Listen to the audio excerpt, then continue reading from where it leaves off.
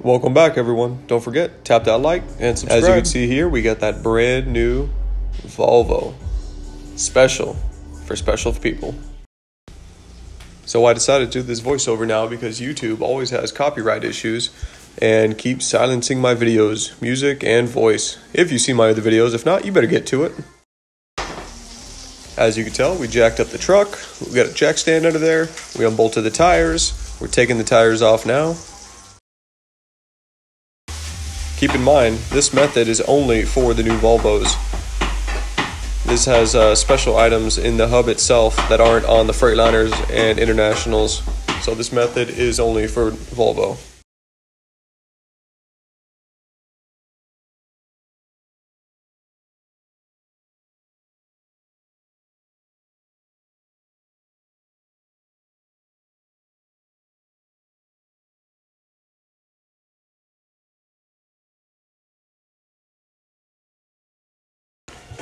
So with the tires off, we can go ahead and take off the drum. Be careful, that sucker is heavy. Looking at that tone ring right there, we can see that the wheel seal has been leaking. It's got a lot of oil around it. So this definitely needed to be replaced. This is not as bad as some of them could have been that have been soaking the brakes. If they were on the brakes, then let's go ahead and do those too. But in this case, we can reuse them. As of right now, we need to back off the brakes. So we're releasing the slack adjuster and turning it with these specialty tools so we can move the S-cam and make the brakes easier to take off.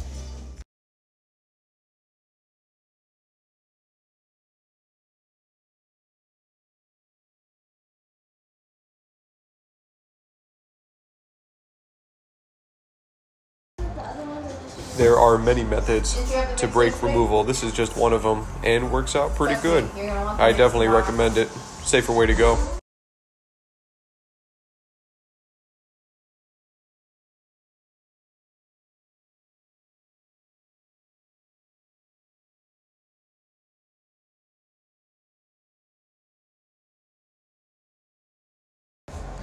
All right, now, was that easy or what? That was impressive.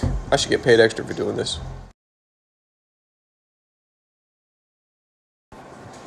So with the brakes off, I want to go ahead and check out the S-Cam. I want to find out how much free play it has, so I went ahead and checked it real quick. This one, very minimal. Definitely good to reuse. Now we're looking at the tone wheel again and seeing how bad it is.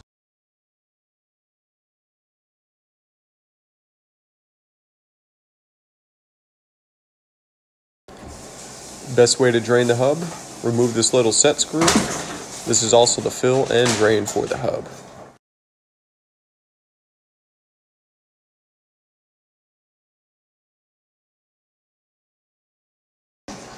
Don't worry about reusing this oil. You're going to want clean oil every time.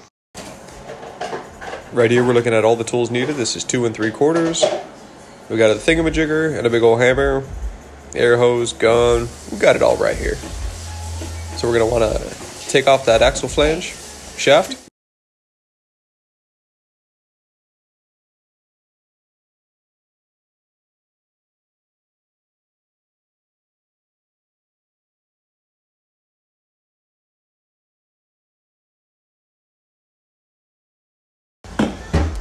So on here it has nuts, washers, and then a spacer which aligns it perfectly into the bore.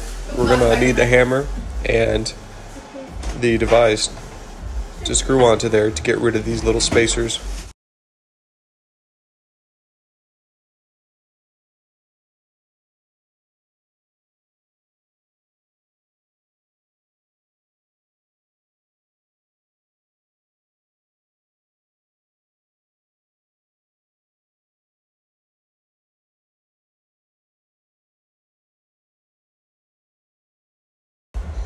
We're going to install these studs and then the sleeve removal tool onto them.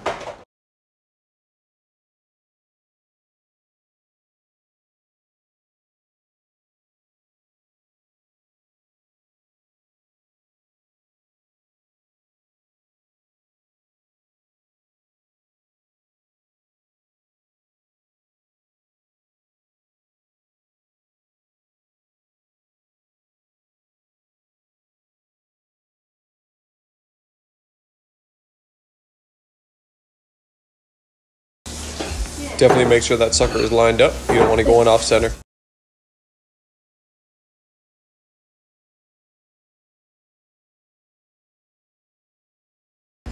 And you could probably guess the next step. We're going to hammer the hell out of that thing.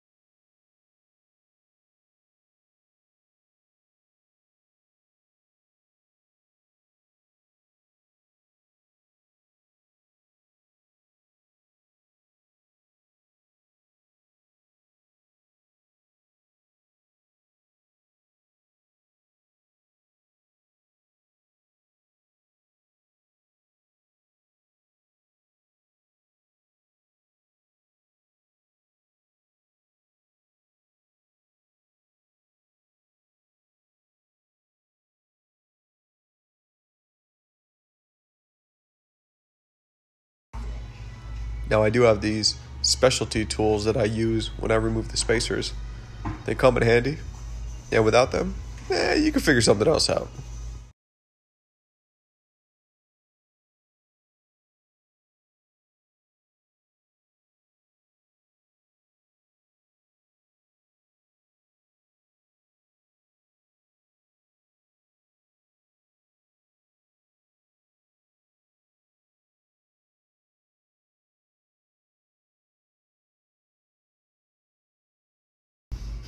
Once those are off, we can go ahead and remove the axle shaft and clean it up and prepare it to go in deeper.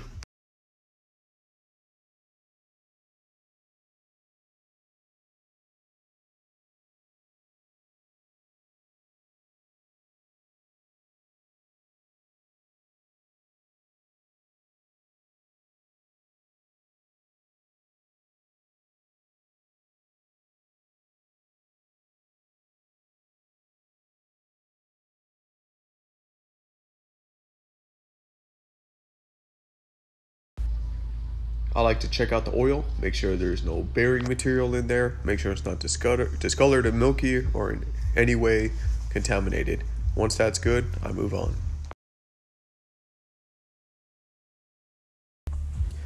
Now we're going to get out the seal for the axle flange.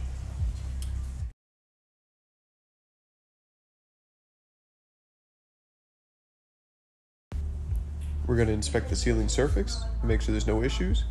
Then we're gonna move on to this clip, this retainer clip. All we gotta do is pull them outward and it'll pop on out.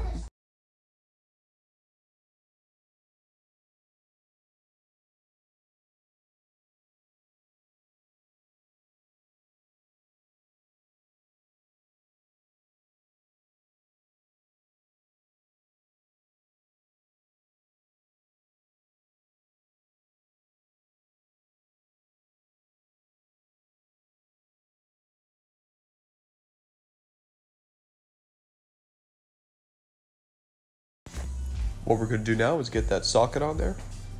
And it's got 500 foot-pounds on it, so it's going to be a little bitch to remove.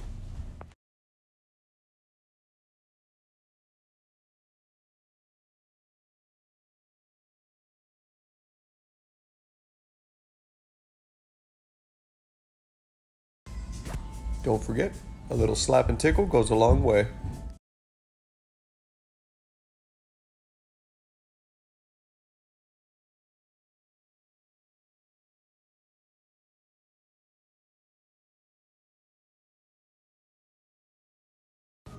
As you can tell, it does not want to move. We're going to need a little more muscle over here. Anyone got our back?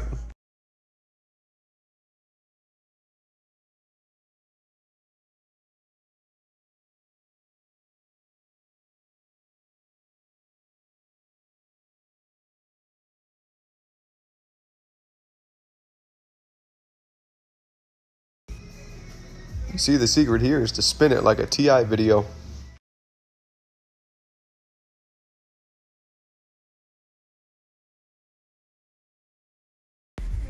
So what I'm showing you right here is as we're spinning the nut, backing it off, it's backing off the hub.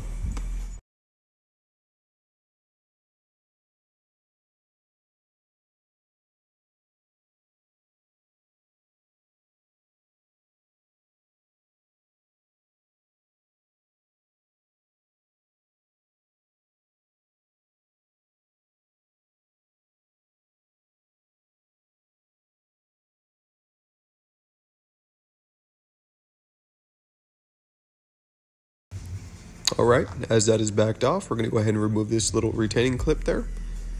As you can see, we just picked it out, send it around, and it's gone.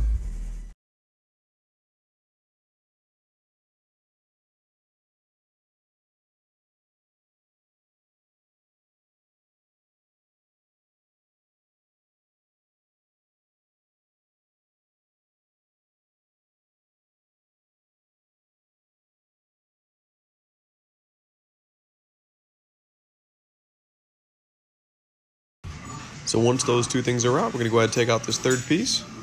As you can see, it only goes in one way. There's a flat spot on there.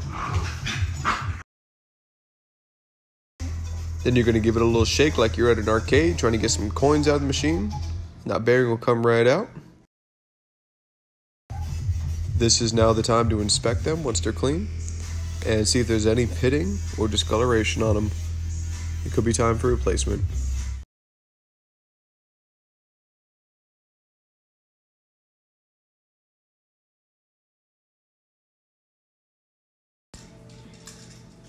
Now what we're going to do is take out that preset spacer cone.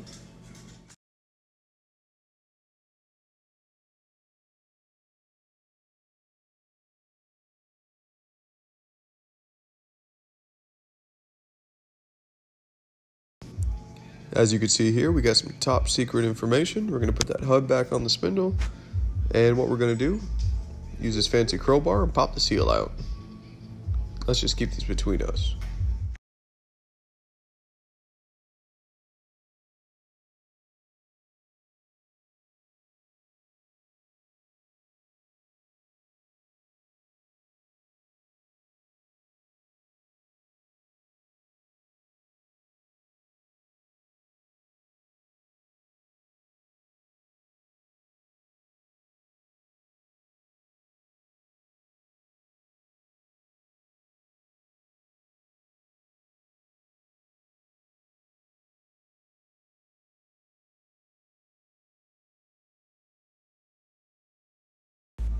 And now the best thing to do, clean it all up.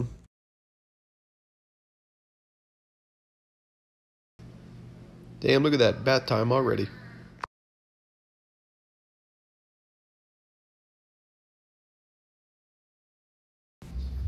Part numbers? Yeah, we got them. Here you go. You're welcome. Oh, damn, is that a brand new hub? Nah, she's just clean.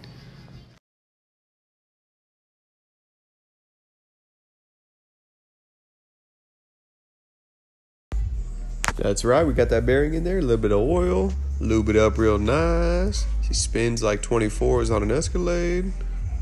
Nah, probably a Pontiac.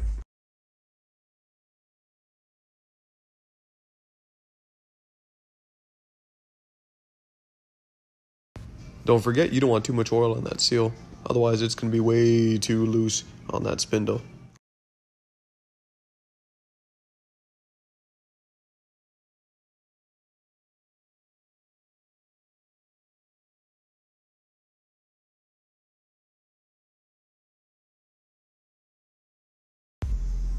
You know what they say. When in doubt, lube it up. Lather that sucker up. Look at that. Working that shaft.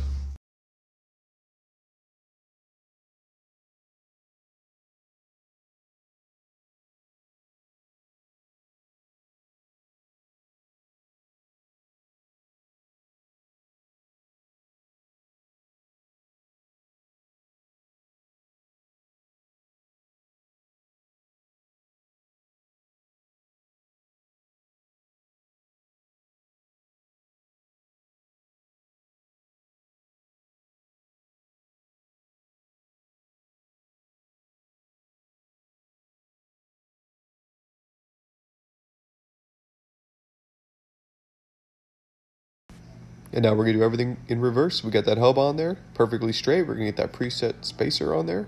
Now we're gonna throw that bearing in there. A couple hundred dollar bills in there, in case anyone finds it. See, it only goes on one way, into that little groove.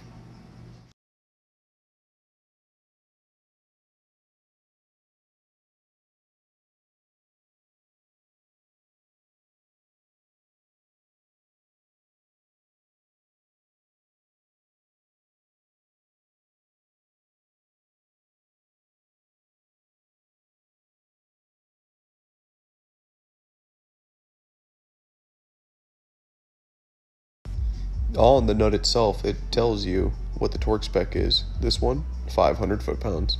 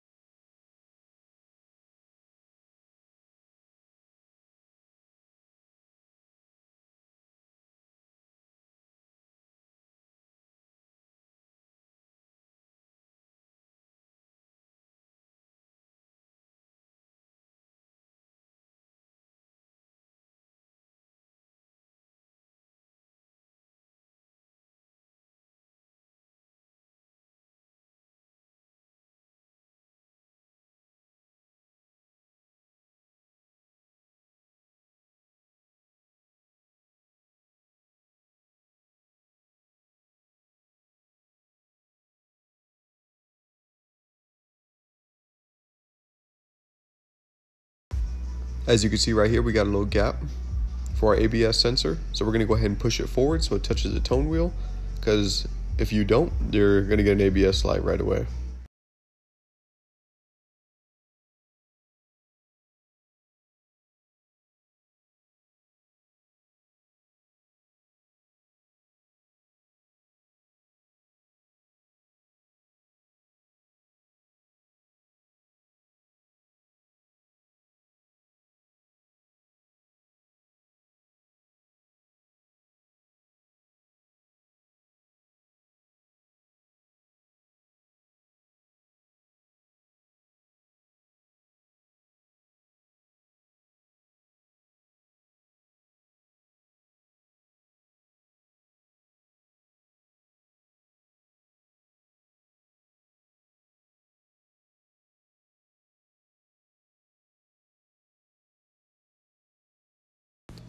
So there was a few holes around that nut.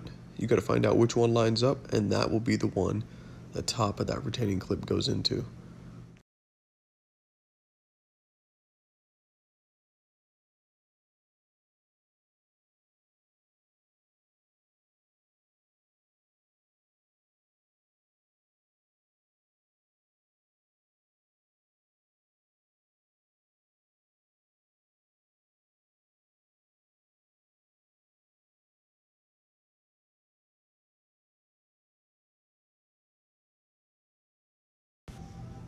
As you can see, we go the extra mile and clean up that tone ring and make sure nothing causes a ABS light to occur on this wheel end.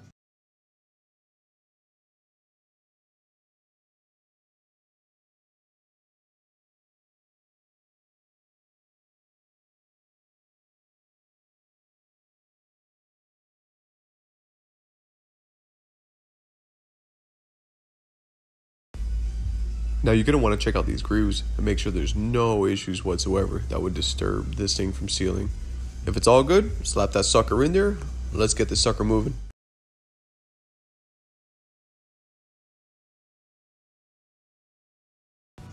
At this point, grab your shaft and shove it in there. Line it up with the holes.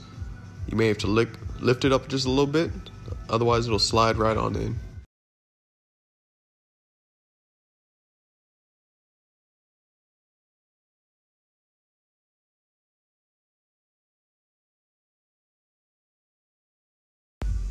Now, because these spacers have been on there so long, they are grooved and they don't just slide on easy. So we're to have to hit them in there.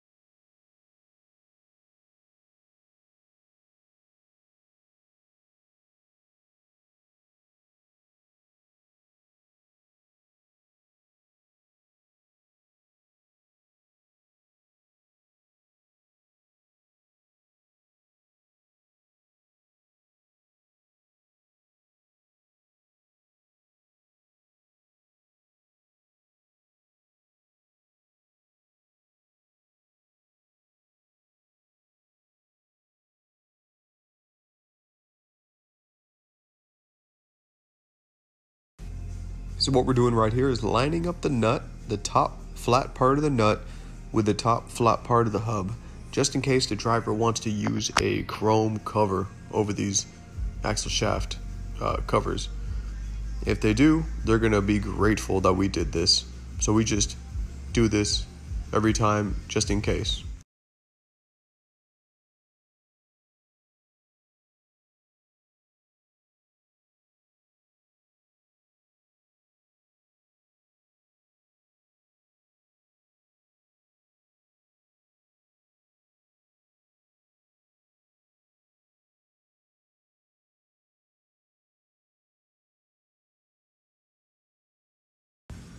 So this hub will take one full quart of hub oil.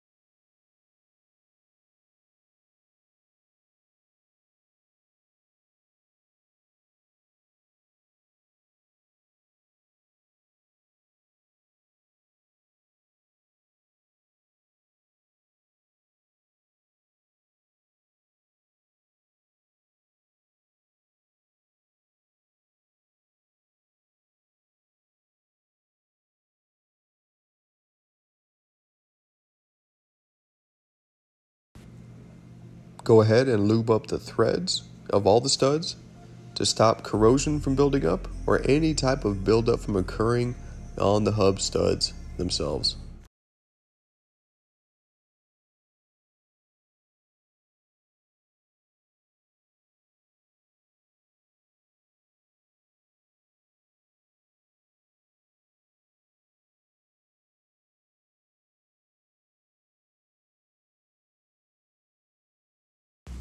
As you can see, the brakes were already set up and ready to go. We got those rollers back on. Now we're just gonna pick up the brakes. And as you can see here, put them into place and they fall right into place. It's perfect, right?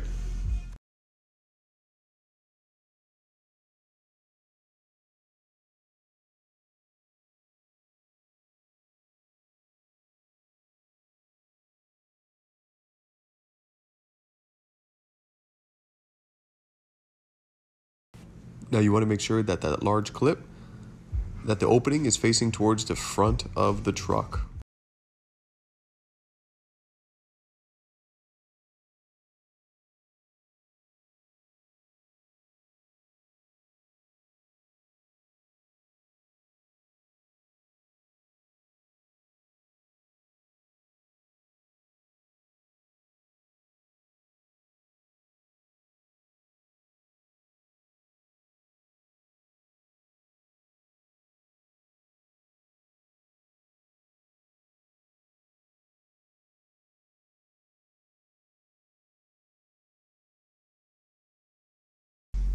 And now get ready for it because that drum is heavy. If you haven't done so, drink some coffee, drink a monster, summon some inner energy, and lift that sucker up into place.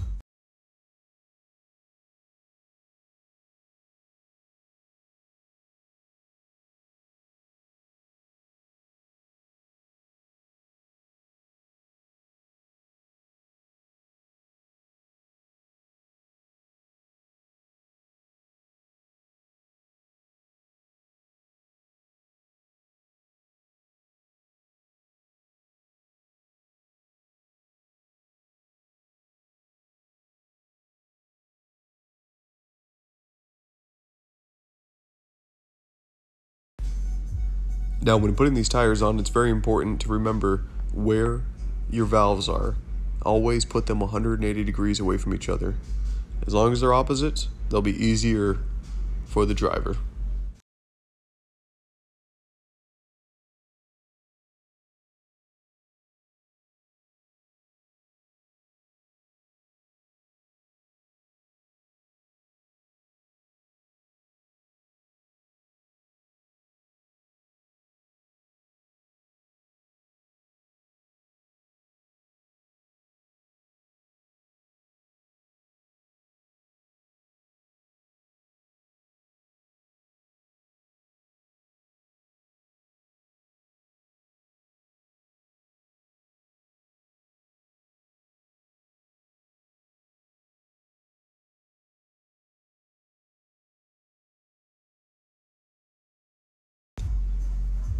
Now we can go ahead and adjust the brakes, release the slack adjuster, and then we're going to go ahead and get the brakes to touch the drum and back it off half of a turn. That's all you need.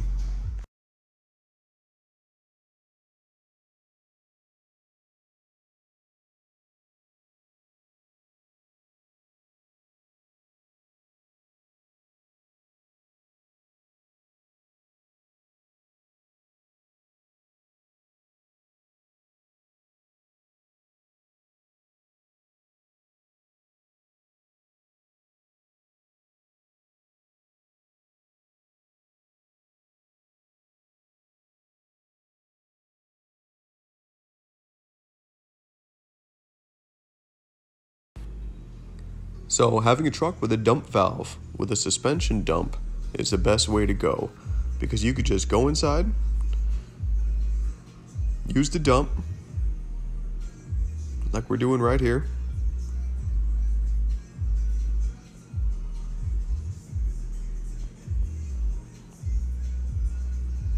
And as you see,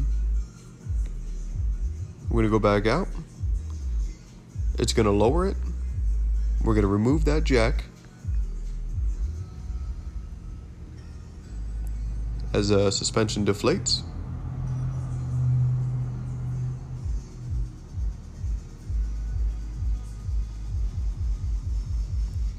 See, just that easy that we can go ahead and raise the suspension. It'll be just like new. So much easier not using a jack and only using the dump feature. Using a jack stand that's all you need.